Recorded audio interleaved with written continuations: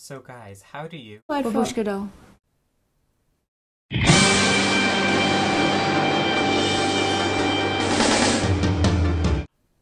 Hey everyone, it's Thursday, and it's Pokemon Week! I had something really awesome planned for this week, but I couldn't find it. Ineptitude! Yeah, I know. My surprise was going to be that in fourth grade we had a talent show, and I dressed up like Ash Ketchum and performed the Poke Rap, but it's on VHS, and I looked around for a few hours and found some really weird, strange old VHSs that we had, but I couldn't find what I was looking for. So, I'm going to give you these pictures instead to look at. As you can see, I definitely know how to have a birthday.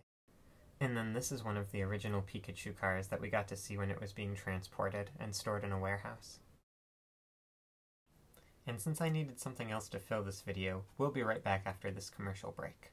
Who's that Pokemon? I want it all. I gotta go. Say you're a young business person. Well, you need a smartphone built for business.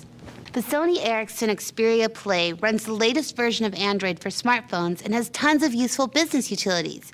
You can check emails, open documents, or use voice search to find anything you need.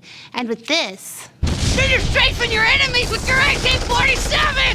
Ah! You've never strafed before, but it feels great! Ah! One kill! Two kills! Triple kill, bitches! You just hit the fuel tank! Edit spreadsheets. The smartphone with everything you need. And the one thing you want. Xperia Play from Sony Ericsson. It's Pikachu! Pikachu! And we're back. Now to get to the main point of this whole YouTube video. So I have to pick my favorite out of the original three starters.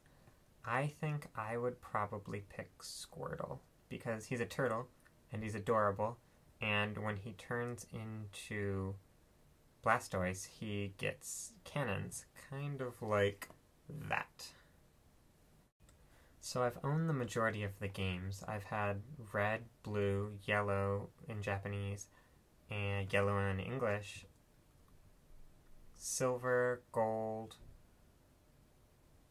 platinum, and then of course all those fun ones like Pokemon Stadium and things like that.